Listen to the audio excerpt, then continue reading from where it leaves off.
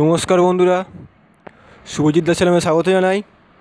তা আজকে আমি নদিয়া কোর্ট বা দার্জিলিং কোর্টে কীভাবে আপনারা অ্যাপ্লিকেশান করবেন, তার ডিটেলস আমি আলোচনা করে দিচ্ছি। এখানে দেখুন একটা পিডিএফে আমি আপনাদের দেখিয়ে দেবো যে কীভাবে আপনাদের অ্যাপ্লিকেশানটা করতে হবে, ঠিক আছে? আপাতত এই মুহূর্তে নদিয়া কোর্টের অ্যাপ্লিকেশানটা স্টপ আছে, কারণ কিছু প্রবলেমও আছে ওদের, ওখানে সেই জন্য অ্যাপ্লিকেশানটা স্টপ রেখেছে নদিয়া কোর্টে আর দার্জিলিং কোর্টে কিন্তু অ্যাপ্লিকেশান চলছে। তা আপনারা কীভাবে আবেদন করবেন একটুখানি ডিটেলসে বলে দিচ্ছি। আর প্রয়োজন পড়লে ভিডিওটা আপনারা পুরোপুরি দেখবেন। পুরোপুরি দেখতে বলছি কারণ কীভাবে আপনারা অ্যাপ্লি অ্যাপ্লাই করবেন, ঠিক আছে? আপনার ফর্মটা কীভাবে সাবমিট হবে, ঠিকঠাক সাবমিট হবে, নাহলে আপনাদের কিন্তু অ্যাডমিট কার্ড আসবে না, ঠিক আছে? আপনারা একটু প্লিজ দেখবেন, ভালো করে ভিডিওটাকে, একবার না হোক, দুবার না হোক, ভালো করে দেখবেন, তাহলে আপনাদের কাছে অনেকটাই ক্লিয়ার হয়ে যাবে যে কীভাবে আবেদন করতে হবে, ঠিক আছে? এখানে কিন্তু ফটো সিগনেচার আপলোড করলে চলবে না।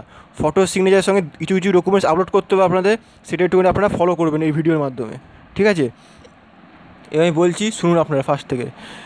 দেখুন, এখানে দিয়েছে application name application mobile number application email password confirm password এইখানটা আপনারা কিন্তু ঠিকঠাক ফিল আপ করবেন, ঠিক আছে? এই ফিল আপ যদি কিছু ভুল হয়, তাহলে কিন্তু আপনাদের আবার ফরগট মেরে আপনার নতুন করে পাসওয়ার্ড করে ক্রিয়েট করে আপনাদের কিন্তু আবার অ্যাপ্লিকেশান করতে হবে, সেখানে কিন্তু প্রবলেম হতে পারে। এখানটা আপনারা ঠিকঠাক করলেন, ঠিকঠাক করা হয়ে যাওয়ার পর আপনাদের সঙ্গে সঙ্গে আপনাদের একটা যেটা আপনারা পাসওয়ার্ড দিয়েছিলেন ইমেল দিয়েছিলেন, সেটাকে এখান দিয়ে লগ ইন করবেন। লগ ইন করার সঙ্গে সঙ্গে এখান থেকে আপনাদের একটা উইন্ডো খুলে যাবে, যেখানে লেখা থাকবে আপনাদের অ্যাপ্লিকেশান মেন অ্যাপ্লিকেশানটা ঠিক আছে? মেন অ্যাপ্লিকেশানটা লেখা থাকবে দেখতেই পাচ্ছেন এখানে district code Darjeeling Darjeeling district করে কথা বলছি আমি, কিন্তু নদিয়ারও কিন্তু সেম প্রসেস ঠিক আছে? নদিয়ার কিন্তু সেম প্রসেস আপনারা কিন্তু এইভাবে আপনারা অ্যাপ্লাই করতে পারেন। এখানে দেখুন candidate name father's name guardian name যে আপনাদের গার্জেনের তার গার্জেনের নেম দেবেন জেন্ডার দেবেন ডেট অফ বার্থ কী দিয়েছিলেন সেটা দেবেন, তারপরে ন্যাশনালিটি দেবেন ফিজিক্যাল হ্যান্ডিক্যাপ থাকলে দেবেন তারপরে হচ্ছে ক্যাটাগরি এসসি এসটি ওবিসি কী আছে সেটা দেবেন। আচ্ছা তারপরে হচ্ছে মেটেরিয়াল স্ট্যাটাস মানে হচ্ছে আপনি ম্যারিড না আনম্যারিড সেটা আপনি দেবেন, এখানে অ্যাড্রেস দেবেন স্টেট দেবেন, ঠিক আছে? পিনকোড এটা সব, সবাই জানে কীভাবে করতে আইডেন্টি প্রুফ আইডেন্টি প্রুফ আপনি আধার কার্ড দিতে পারেন প্যান কার্ড দিতে পারেন ড্রাইভিং লাইসেন্স যেটা খুশি আপনি দিতে পারেন। এবার হয়ে গেল আইডি প্রুফের নাম্বারটা দেবেন। আর এইখানে কিন্তু খুব ইম্পর্টেন্ট জিনিস, আপনি কি দু হাজার ষোলো সালে অ্যাপ্লাই করেছিলেন? যদি অ্যাপ্লাই করে থাকেন তাহলে কিন্তু দ্বিতীয়বার কিন্তু আপনারা অ্যাপ্লাই করতে পারবেন না। ঠিক আছে? এখানে কিন্তু খুব মনোযোগ সহায় করে শুনবেন। একবারই অ্যাপ্লিকেশান নেওয়া হবে, দ্বিতীয়বার অ্যাপ্লিকেশান নিলে কিন্তু রিজেক্ট হয়ে যায় ফর্মটা তারপরে সেভ অ্যান্ড নেক্সট করার পর সঙ্গে সঙ্গে আপনি কোন পোস্টের জন্য অ্যাপ্লাই করছেন, আপনাদের কোয়ালিফিকেশান কী সব কিছু পাসিং ইয়ার কত পার্সেন্ট পেয়েছেন সব কিছু সেভ করার পর আপনাদের কিন্তু চলে আসতে হবে ফটো অ্যান্ড সিগনেচার আপলোড হ্যাঁ ফটো অ্যান্ড সিগনেচার আপলোডটা কিন্তু খুব ভালো করে দেখে নেবেন, কত কেবির মধ্যে কত কেবি চেয়েছে এখান থেকে। একটা ওরা দিয়ে দেয় যে দশ কেজি থেকে পঞ্চাশ কেজির মধ্যে বা চল্লিশ কেজি থেকে পঞ্চাশ কেজির মধ্যে সেটার উপরে দেখে নেবেন ফিল আপ করার সঙ্গে সঙ্গে ওখান থেকে ডিটেলস দেওয়া ওখান দিয়ে দিয়ে পেয়ে যাবেন ওখান থেকে।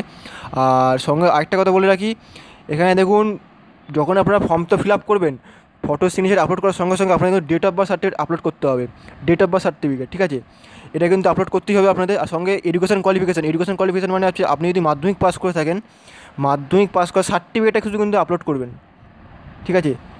এরা যদি আপনি কোনো ভুলভাল সার্টিফিকেট আপলোড করে দেন, তাহলে কিন্তু আপনাদের পরীক্ষা দিলেন, পরীক্ষা দেওয়ার পর কিন্তু ডকুমেন্ট ভেরিফিকেশানে কিন্তু আপনি রিজেক্ট হয়ে যাবেন। ঠিক আছে? এই জায়গাটা কিন্তু খুব ভাইটাল জায়গা। আপনারা কিন্তু খুব ভালো করে ব্যাপারটা বুঝে কিন্তু কাজগুলো করবেন। হয়ে যাওয়ার সঙ্গে সঙ্গে আপনি নেক্সট করবেন। দেখুন নেক্সট বাটন আছে। নেক্সট বাটন করার সঙ্গে সঙ্গে আপনাদের কাছে পেমেন্ট মেথড যদি এসসি এসটি ওবিসি হয় জেনারেল হয়, যাদের ক্যাটাগরি অনুযায়ী ভাগ আছে যে কত, কে কত পেমেন্ট করবে, সেটা কিন্তু এখান থেকে পেমেন্ট করতে পারেন আপনারা। অনলাইনে পেমেন্ট করবেন। ঠিক আছে? এখান থেকে পেমেন্ট করার সঙ্গে সঙ্গে আপনাদের কাছে নতুন উইন্ডো খুলবে। হ্যাঁ আরেকটা কথা বলে রাখি, এখান থেকে কিন্তু আপনার পেটিএম যদি ব্যবহার করে থাকেন পেটিএম পেটিএম থেকে কিন্তু আপনারা পে করতে পারেন। এখানে দেখুন পেটিএমে সব কিছু দিয়ে দিয়েছে ডিটেলসটা পেটিএম থেকে আপনারা পে করতে পারেন। খুব সুন্দর একটা প্রসেস দিয়েছে ওরা। পেটিএম থেকে হোক ডেবিট কার্ড ক্রেডিট কার্ড যা খুশি আপনি পেমেন্ট করতে পারেন।